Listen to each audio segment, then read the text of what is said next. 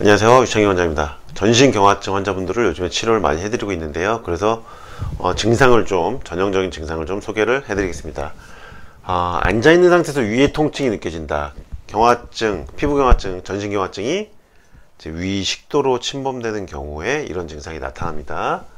수면 중에 식도염 증상 역류성 식도염 증상이 수면 중에 나타나게 되고요. 근데 이분이 이날은 없었다고 하셨죠? 그리고 뭘 먹느냐에 따라 다른 것 같다.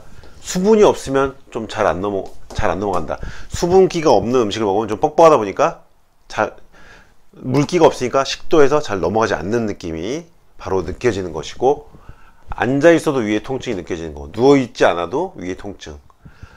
그리고 어, 수면 중 식동 증상 없었다. 수면 중에 시- 역류성 식동 증상이 나타나는데 없었으면은 좋아지고 있는 거죠.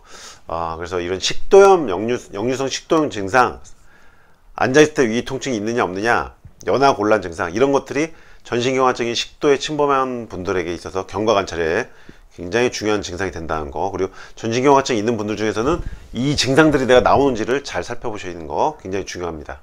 도움 주시기 바랍니다